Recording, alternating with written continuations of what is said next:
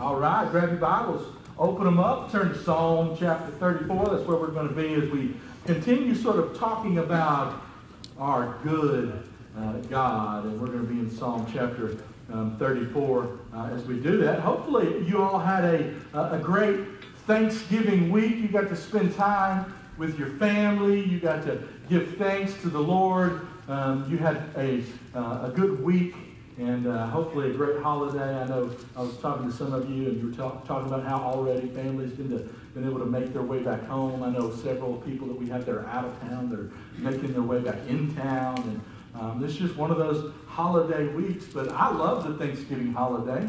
Um, I love it, not just because of the, the time that I get to thank the Lord, but I love it for the time that I get to spend with family. And I love it because of the, all the delicious food that we get to eat. Amen? How many of y'all were just blessed this year by some wonderful, wonderful Thanksgiving food? Not, not just a few of y'all. Or you were so blessed, you're like, I can't move right now. I don't want to talk, Pastor Craig. Don't make me do this. Um, but God is good. All the time. And all the time. And it was just evident through Thanksgiving, for, through my Thanksgiving holiday, with the time I got to spend with my family, uh, with the time that I got to sit down and eat, and even all the food that I got to consume. Uh, God's goodness, we talked about this last week, is evident in everything. Every good and perfect gift comes from above. So guess what? That macaroni that Mona made for Thanksgiving, showed me that God is good all the time. and all the time. So let me ask you this. What I just want to know this. What was your favorite thing that you consumed in your mouth that was a food object for Thanksgiving? Somebody tell me right now. Dinner rolls. And you know, I saw I saw an interesting post. It just I mean, I just took a total chased a squirrel. I saw an interesting post and it had this giant, enormous Thanksgiving dinner sitting down, and then it had a guy holding a roll next to it. And it goes, What we all want, and then it had the roll that said, What the kids want. the rolls. I love rolls too. I'm with you. I praise God for rolls because God is good all and all the time. Something else. What else? What name something? Yes, sir, back there. Mac and cheese. God is good. And all the time. Somebody else give me something. Everything Carolyn made. Everything your wife made. God is good. And all the time. How about dressing with ocean spray cranberry sauce? Dressing with ocean spray cranberry sauce. God is good. And all the time. Somebody give me a dessert. I've been waiting for some. Give me some. Yes, ma'am. Apple pie. Oh, goodness, God is good. And all the time. What'd you say? Sweet potato. Pie. Oh, God is good. And all the time, God is good. Pecan pie. Oh, man, God is good. And all the time. All right, one more. Apple dump cake. Oh, God is good. And all the time. And you know, we look at these things, and many of us, we can sit around like, if I decided right now, I just wanted y'all to come up and just testify about your favorite dessert. How many of you just could? I mean, just come up. Not only would you just testify about the apple dump cake or the apple pie, you could testify about even the ingredients that were in it, all the little tastes that come with it. You know, I had, you know, there's something that I really don't like, and I never have, and that's blueberries. I just don't like blueberries. But I went down to that Edom Thanksgiving community, and I saw this blueberry pie. And I looked at it, and it was very picturesque, you might say. It's like, you know, when you see a picture, some people do a great job of taking pictures of food. And just, I mean, when you see a picture of a McDonald's cheeseburger, you know that don't look, it's not what it looks like when it comes out in the package. This pie looked like, I mean, straight off of a billboard. And I was like, I don't like blueberries, but I want to eat that pie. And I did. I took it, and let me tell you, that was the absolute best blueberry pie I've ever eaten in my life. It's also the first. But it was really good, right? It was also really good. And, and that was just something. But when you get something like so good that you just, you know, you talk about like Mona's macaroni. Oh my goodness. Everybody in the family is like, Mona, make your macaroni, make your macaroni. And she makes it. And when you get it and you see it, it's just like, first of all, just like this layer of cheese, toasted to perfection on the top, right? And, and, and when you dip down in it, it is just like, it almost just squirts out the top a little bit with like cheese juice that runs over the top, you know? And then you scoop it out and it just begins to stream out as you just put it up. You have to actually have scissors to cut the strings of the cheese as you lay it on the plate. And some of y'all know exactly what I'm talking about, whether it be Mona's macaroni, you know, or your wife's cooking. There's just these Thanksgiving meals, and we could talk about them all day long. But why can't we talk about Jesus like that? Have you ever asked yourself that question?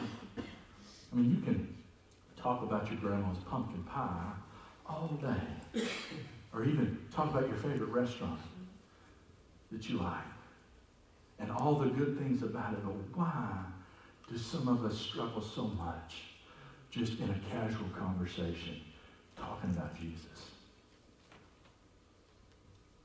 When we get into Psalm chapter 34, I want you to understand this is a, a psalm of David written out of a cave experience. Like he was running from a Philistine king and running from Saul, um, the king of of Israel at that point in time. David's running for his life. And comes right out of 1 Samuel chapter 21. And David had just pretended and, that he was a madman to sort of escape the grip of this Philistine king and, uh, you know, slobbering all over the place. And this king's like, I don't need another madman. Get him out of here. We're done with David. And this is David. This was after Goliath had been killed. You know, he he should have, you know, just for, for the Philistines, he should have had a, a bounty on his head, but they just got rid of him. Like, we're not dealing with this guy. He continues to hide from Saul, who's trying to chase him down and kill him. And he finds himself in this cave, and he finds this, this a salvation experience. Like God saves him out of all of this that he is going through. This is where he writes Psalm chapter 34. This is where we get this. And one of the reasons that many Christians love Psalm chapter 34 is because when you begin to read it, it also, when you put, your, put yourself in David's place and how you know that, you know, before Christ, you were trapped in the grip of darkness. Like you were dead in your trespasses and sin. And God reached down and pulled you out of that darkness and set you into his marvelous light. And when you begin to think about that and you read this psalm, you can make it very personal to your own salvation experience. And so follow along as we look at this and we read Psalm chapter 34. We're going to go down to verse 8 and we look at how David felt about God's goodness and his grace. And it says in verse 1 I will bless the Lord at all times. His praise shall continually be in my mouth. My, my soul will make its boast in the Lord. The humble will hear it and rejoice. Oh, magnify the Lord with me, and let us exalt his name together. I, I sought the Lord, and he answered me. He delivered me from all my fears. They looked to him and were radiant, and their faces will never be ashamed. This poor man cried and the Lord heard him and saved him out of all of his troubles. The angel of the Lord encamps around those who fear him and rescues them. Oh, taste and see that the Lord is good. How blessed is the man who takes refuge in him. Heavenly Father, we are so grateful, so thankful for the refuge that we find in you. We're so thankful for the forgiveness and grace that we find through your Son Jesus. We are so thankful that in you we have salvation and that you, you seal us and you hold us. And we have nothing to fear because you are our refuge. You are our strong tower. You are all that we have to hope in. And we thank you for that. And Father, we thank you for the testimony here that we read of David and how that you were those same things in his life. And Lord, just how we need to be like him. And so this morning, as we continue to just look at this scripture, Father, may you lay it upon our heart. May you show us that we need to do better. Do better at proclaiming your praises. Lord, we thank you In Jesus' name, amen. So we look at Psalm 34 here, and as we look at these eight, eight verses, I just want to talk to you today about living a life of evangelism. Like, we need to be sharing the gospel. The gospel, as the Apostle Paul says, is the power to salvation unto all men. All right? This is the, this gospel message, this good news about Jesus, we need to be sharing with everybody. And when you've experienced you know, when you've truly tasted it, oh, it should be easy to actually verbalize it and paint a picture of how good God is. You know, it's one thing to just know it, it's another thing to really see it and experience it. That's what Job said. If you remember in Job chapter 42, verse 5, he said, I heard of you by the hearing of ears. Like, yeah, I heard about God, and I know, I, I know the things about you, but now my eyes see you. Like there, he has fully experienced God's grace in the midst of that tragic time in his life, and he has this whole new appreciation for who God is. And so today, when we look at Psalm 34, what can we learn from it about living a life of evangelism? Well, the first thing I want us to look at is I believe we need to learn to have a, a constant witness. Like we are called, right, to be witnesses. This witness is a constant witness. We are a constant witness on behalf of Christ. When you go back and you look at Acts chapter 1, verse 8, the, the scripture tells us Jesus told his disciples, he says, You're going to receive the power of the Holy Spirit. He will come upon you, and you will be my witnesses in Jerusalem, in Judea, and Samaria, to the uttermost parts of the world. That, that was the, they're going to be the witnesses for Christ. He's giving them the Holy Spirit. They're going to be witnesses to that power. They are witnesses to the resurrection. They are eyewitnesses to that. And for us, we need to be a constant witness of that grace that we've experienced. Like, if you are here today and you truly have experienced God's grace in your life, you've truly experienced that freedom, that you have been ripped from darkness and set into this marvelous light of His holiness, then you have this story to tell about how good He is. And so this witness ought to be constant. When we look at Psalm 34, look what David says I will bless the Lord at all times, not just sometimes, not just when it's convenient, not just when I don't feel awkward, but I'm going to bless the Lord at all times. His praise shall continually be in my mouth. Like constantly in my mouth will be his praise. Have you ever really, you go just thinking back, you know, right now on your Thanksgiving meal. Now, maybe there was a dessert or maybe it was a side. Y'all know how much I love sides. I told you last week.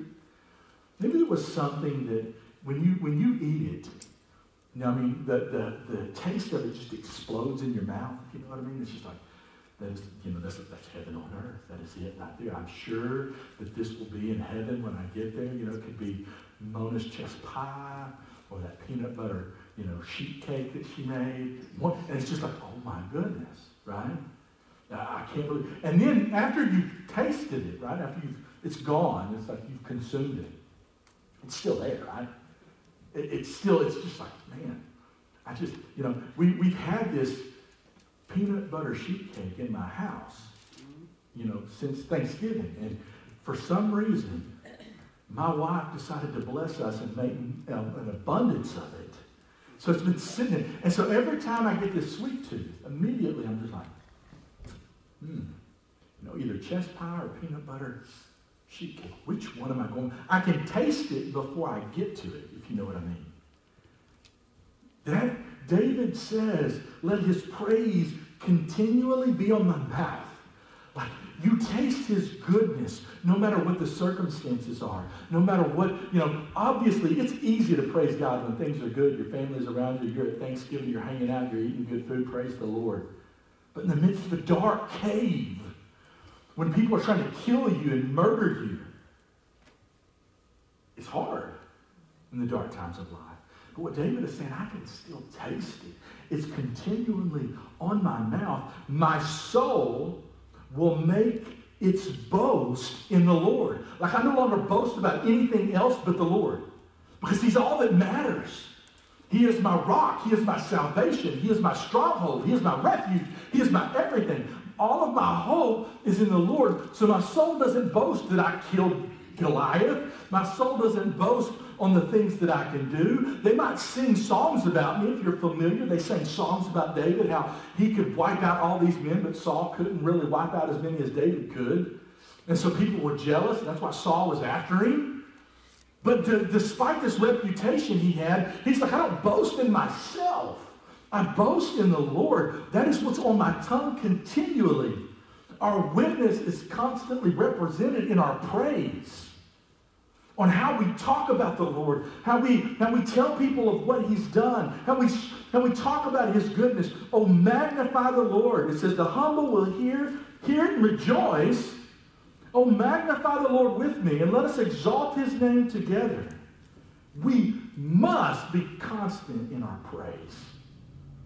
If our, if our witness is going to be constant, it starts with our praise. Everything that we do, we should be praising the Lord, praising the Lord. One of the greatest illustrations I think that we see of, see of this is in Acts chapter 16. In Acts chapter 16, you can turn there because I'm going to be there in just a second. But in Acts chapter 16 and verse 25, you see that Paul and Silas have found themselves in prison. And there in prison, the Bible says that in verse 25 that they are praying and singing. Like the, when, when, when David says in verse 1, I will bless the Lord at all times, that's Paul and Silas. They take that to heart. Even in the midst of this prison, we're blessing the Lord. His praise shall continually be on my mouth at midnight. They're like, we're not sleeping, we're praising. We're not sleeping, we're praying. Because of the circumstances we're in, uh, we're not going to let that affect, you know, our praise. We are going to be constant with our witness. We're going to be constant with that opportunity. But what you see, David next tell us is we need to be committed with our influence. Like we have to realize as we're constant with our, as we're as we're constant uh, with the, with this message of the gospel, and we present this witness, as we're constant in that, we have to be committed to the influence that we have. Like every single person in this room, you have a sphere of influence.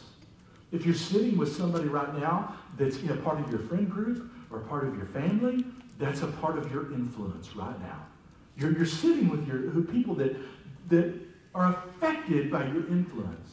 People at your work are affected. People at your school are affected. One of the hardest things that I've, when, when dealing with students, and, and so I, you know, I understand some of the struggles like that Peter has, and the hardest things I've had, always had dealing with students is actually getting them to understand the power of their influence. Like they really don't see it. They see the power of other people's influences in their life, but they don't think that they have the power of influence on the people around them. We all have this power of influence. And we need to be committed to this influence that we have. David, look what he says in, in verse 4 I sought the Lord, and he answered me and delivered me from all of my fears. I go back and, and I think about my personal salvation experience. Like the fact that God brought me up out of darkness into his marvelous light, but the fears that were set there before, like this, there's this enormous fear of death. As Christians, we don't need to fear death, right? Death, where is your victory? Death, where is your sting? We don't fear it. Uh, that is taken away in that salvation process. Now, it doesn't mean like there, there might be a little, you know, I'm not sure how it's going to feel, or what that transition is going to look like, but we don't fear the afterlife because we know where our hope lies. That fear is extinguished. David reminds us that in salvation our fear is extinguished. And they looked at him, they looked to him, and were radiant, and their faces will never be ashamed. This poor man cried. And the Lord heard him and saved him out of all of his troubles.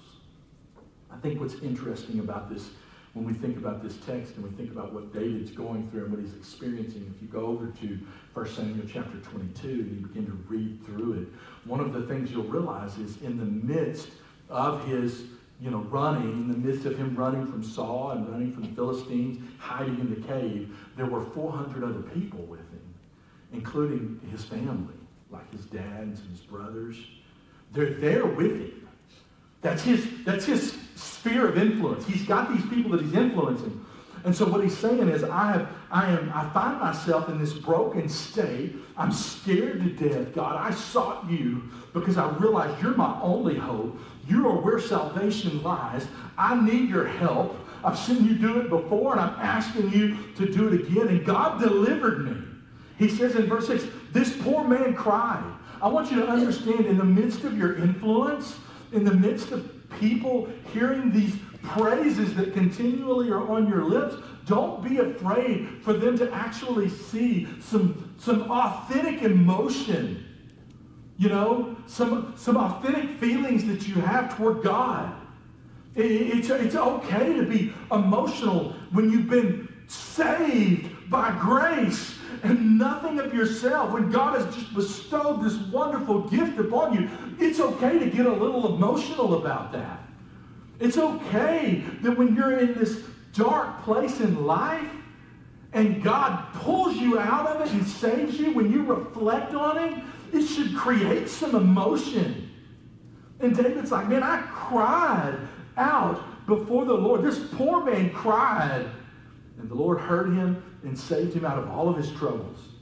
But in verse 5, he says, they looked to him. In the midst of this whole interaction that David's talking about, where he is crying out to God, where he is being delivered, where God is hearing him, there's other people watching. It was those 400. And the, the, this influence of praise, this influence of seeking God, this influence of God's hand upon David in this moment affected them and they looked to him. They, they're not looking to David, hey, you killed Goliath, get us out of this situation. They're not looking to their strong men. They turned their focus to God. This was the influence that David had in this moment, and they looked to him and were radiant, and their faces will never be ashamed. Why? Because they have placed their trust and their faith in the Lord. And we're reminded when we go back into Acts chapter 16, verse 25, and again we see at midnight Paul and Silas in that prison. They have created this sphere of influence. Like they have gathered this, these people around them. And we don't know a lot. There could be some other Christians that are being persecuted and imprisoned with them, but at the same time, there could be murderers and thieves, you know, and abusers. There could be all kinds of, and they're around them, and look at what's going on. The Bible says in, in verse 25 of Acts 16, but about midnight, Paul and Silas were praying, singing hymns of praise to God, and the prisoners were listening to them. I think sometimes we don't realize the impact that we're having on the people around us. We don't really think that they're listening, but, but they do. I'm shocked sometimes. I'm shocked. I mean, I, will I'll walk outside and I'll be, I'll be sitting, there and standing there and shaking people's hand, and, and just somebody will come up to me and say, Pastor, you said this, and I, have been stuck in this, and that, and I was just thinking the whole time, I didn't think anybody was listening. And they're like, you know, that really, that, that, that portion of scripture I've been really looking at already, and then you used it today. And oh, that was so special to me. God is, and they were listening, and I'm going, okay, I didn't think anybody. I mean, I never heard an amen or nothing. You know, I didn't think y'all were awake. But we sometimes don't realize people are paying attention. They're watching us. You know, I mean, if you want to really know something, you might not think this parents, your kids are watching you. You know, the, the prisoners of your home, because that's how they feel like, especially if they're teenagers, right? they're watching you. They're watching how you react to situations. They're watching to see if that praise is continually on your mouth and on your lips. They're watching you. People are watching us. And we notice in this, that at midnight they're praying and they're singing hymns and praise to God. The prisoners were listening to them, and suddenly there came a great earthquake, so that the foundations of the prison uh, house were shaken, and immediately all the doors were open. Everyone's chains were unfastened. And when the jailer awoke and saw the prison doors open, he drew his sword, was about to kill himself, supposing that the prisoners had escaped. But Paul cried out with a loud voice, saying, Don't harm yourself, for we are all here. And he called for the lights and he rushed in and trembling with fear, he fell down before Paul and Silas. And after he brought them out and said, he said, Sirs, what must I do to be saved? Not only were the prisoners listening, but I believe that Paul and Silas's praise were continually on their mouth. I believe they were continually doing this. I believe that, yeah, at that moment, the guard was asleep, but he had heard this on and on and on. He had heard this message of Jesus. He had heard this message of grace. He had seen now the power of God shape this place, right? And, he, and now he sees God's faithful men still standing in front of him like, we didn't abandon you. Like, we knew what would happen to you if we just took out and left.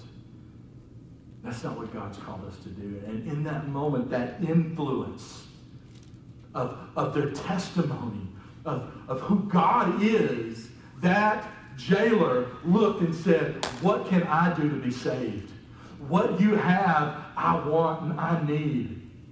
What, what, what, what you've got, I need this. I need this Savior in my life. We have to be committed to the influences around us. We have so many opportunities. And then we continue in verse 7 and 8. The angel of the Lord encamps around those who fear him and rescues them. Oh, taste and see that the Lord is good, David says. Oh, taste and see that the Lord is good. How blessed is a man who takes refuge in him. We must have a compassionate pursuit of the lost. When we look at this, David at this point is filled with a compassion of if you have not experienced this, if you don't know, I want you to understand what God has done for me. That an angel of the Lord, he encamps around those, he surrounds those who fears him and he rescues them. David's like, I've experienced this rescue from God that only he can do. And I want you to taste and see it. I want you to experience this grace like I have, is what David is saying. He is, he is compassionate and he is pursuing people to know this great and mighty God of grace. To know him in an intimate way. And, and we have to have that compassion. We must pursue the lost in our influence. Those around us that we know have no idea who Christ is and what Christ can do, we must use that power of influence. We must have compassion and we must pursue them. Taste and see that God is good. Amen. Experience it. David is challenging us to experience this goodness God offers. We must do a better job of allowing the praise that we have for the Lord to continually come out of our mouth, to continue no matter where we're at, no matter what we're doing. We have to be consistent and constant in our witness. And the people around us that we influence, they need to hear these things.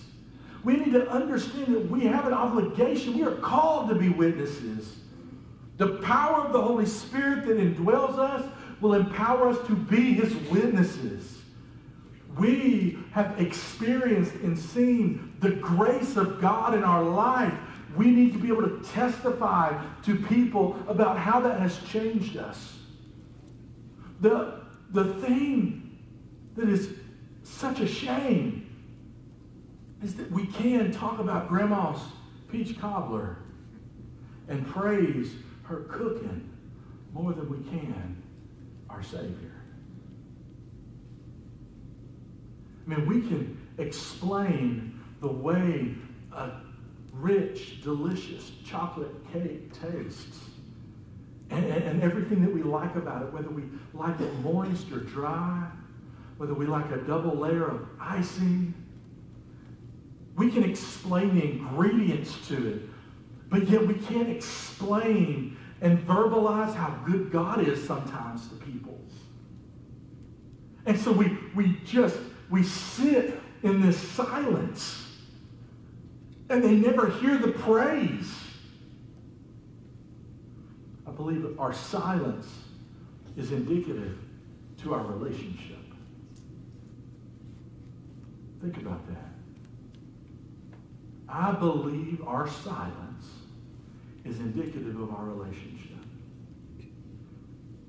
If you can sit in front of people that need God in a, I mean, they're dead in their trespasses and sin with no hope and they need a Savior and you have experienced all of that grace and goodness, how can you sit there in silence? It says a lot about your relationship with Jesus. When Jesus has changed your life and he has rescued you, there is a song that should be sung from your soul. I mean, you should, it should be inside of you constantly on your lips, like David says in Psalm 107. The, the, the psalmist says this, verse 1, Oh, give thanks to the Lord, for he is good, for his loving kindness is everlasting. Let the redeemed of the Lord say so, whom he has redeemed from the hand of his adversary. Let the redeemed say so. Let the praise of the Lord be upon your lips. I'm not talking about you standing on a platform and preaching. I am talking about you just telling somebody that you know and have a relationship with how good God is and what God has done for you. Because there's people in this world that are hungering and thirsting, and they don't know what they're hungering and thirsting for. And what's happening is the world is coming in ahead of us and laying out everything that they have, talking about how good it tastes, how, how satisfying it is, how you want to make yourself happy with all of these things. And the church is sitting back in silence. And we are saying that we have experienced God's grace and goodness. But is it coming off of our lips? Are we laying it out like the world lays out its treasures, saying this is what you want? No. We need to be compassionately pursuing the lost. They are hungering and thirsting, and Jesus, he tells us in John chapter 6, he's the bread of life. He is the bread of life. And those that come to him will no longer hunger or thirst. He quenches their hunger and their thirst. And when your thirst has been quenched, all you can do is say, Taste and see that the Lord is good. Because you will never thirst again. That's what he told the woman at the well. She come and drink from what I have, and you will never thirst again. And those of us that have actually experienced that, we've got to be able to share it.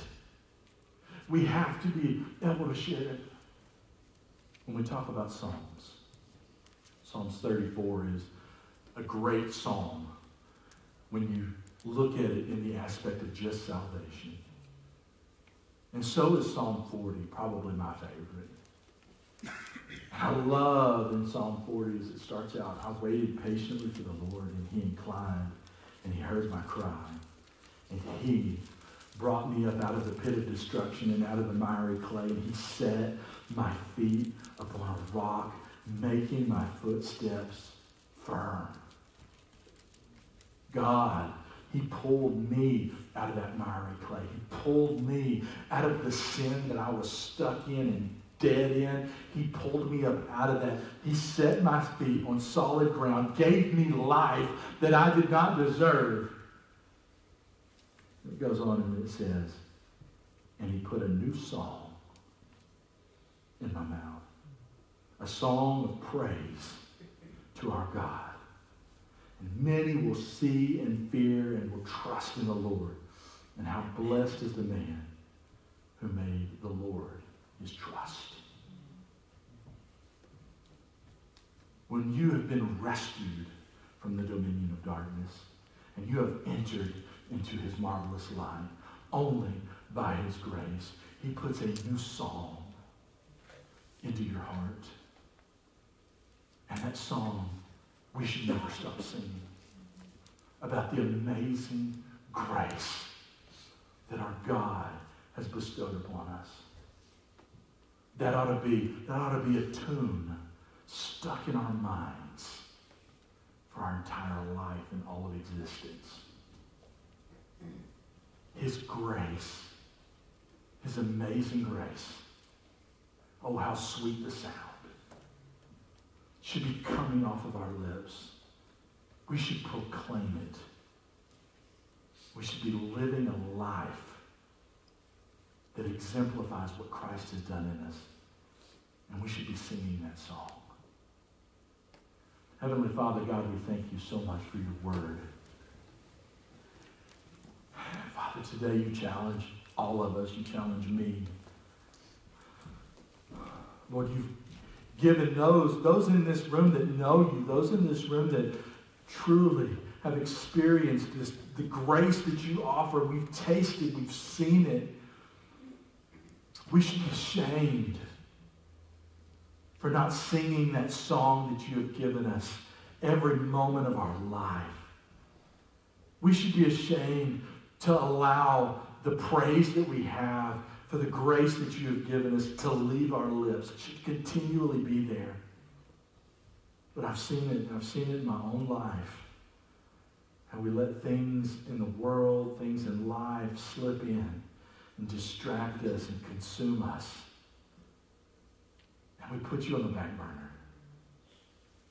God, I'm sorry for that. And I am sorry that I have done that in aspects of my life I pray right now that, that you will convict the heart of your church.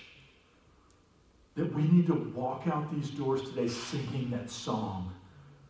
The song of salvation, the song of grace. We need to sing that gospel song that people will know who you are and what you've done.